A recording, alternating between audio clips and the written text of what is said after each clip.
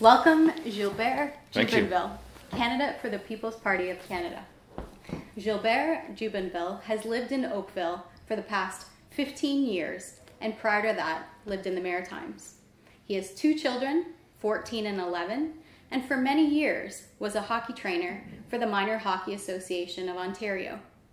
Gilbert is a highly skilled certified engineering technician and has spent the last 25 years in civil engineering consulting in site development and sto- stormwater dam- management.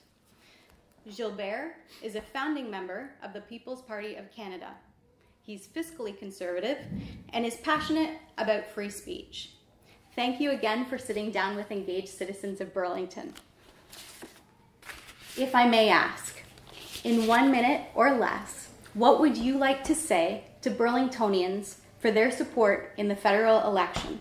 And I must say, too, my apologies, Oakville, North Burlington. Please. Well, I'm a founding member of the People's Party of Canada. And the reason why we founded the party is because we believe the liberals are no longer classical liberals and the conservatives are no longer fiscal conservatives.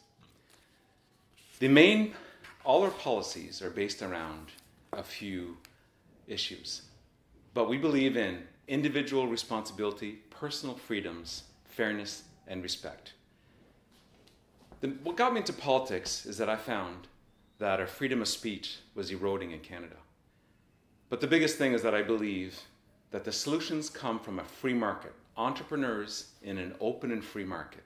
And every single one of our policies is based on free markets and lower taxes and less government involvement.